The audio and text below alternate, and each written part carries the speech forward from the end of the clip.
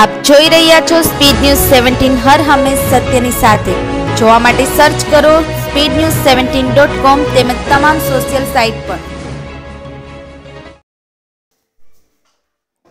સુરતની રેલવે લાઇનને અડીને આવેલી અને ગાંજાના ગેરકાયદેસર વેપાર માટે કુખ્યાત ઉત્કલનગર અને અશોકનગર ઝુંપડપટ્ટીમાં ઓરિસ્સાથી ટ્રેન મારફતે ગાંજો મગાવી વેચતી ટોળકીમાં સામેલ અને વર્ષ બે હજાર સોળમાં માત્ર બે મહિનામાં ઝડપાયેલો રૂપિયા પચાસ પોઈન્ટ એકવીસ લાખનો ગાંજો મગાવનાર યુવાનને સુરત એસઓજીએ પાંડેસરા વિસ્તારમાંથી ઝડપી લીધો હતો.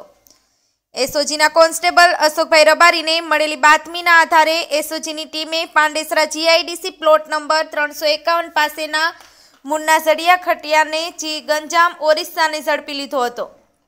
મુન્ના વર્ષ બે હજાર સોળના ઓગસ્ટ માસમાં રેલવે પોલીસે ઉત્કલનગર ઝુંપડપટ્ટીમાં રેલવે લાઇન પાસે ઝુંપડપટ્ટીમાંથી ઝડપાયેલા રૂપિયા તેતાલીસ લાખ છન્નું હજાર બસોની મતાના સાતસો બોતેર કિલોગ્રામ ગાંજો મગાવનાર અને ઓક્ટોબર માસમાં રેવરાછા પોલીસે અશોકનગર ઝૂંપડપટ્ટીમાંથી ઝડપાયેલા રૂપિયા છ લાખ ચોવીસ હજાર ચારસો એંસીની મત્તાના એકસો ચાર પોઈન્ટ એંસી કિલોગ્રામ ગાંજો મગાવનાર ગુનામાં વોન્ટેડ હતો. સુરતની રેલવે લાઇનને અડીને આવેલી અને ગાંજાના ગેરકાયદેસર વેપાર માટે કુખ્યાત ઉત્કલનગર અને અશોકનગર ઝુંપડપટ્ટીમાં ઓરિસાથી ટ્રેન મારફતે ગાંજો મગાવી વેચતી ટોળકીમાં સામેલ મુન્ના પોલીસથી બચવા કતારગામ વિસ્તાર છોડી પાંડેસરામાં રહેવા માંડ્યો હતો.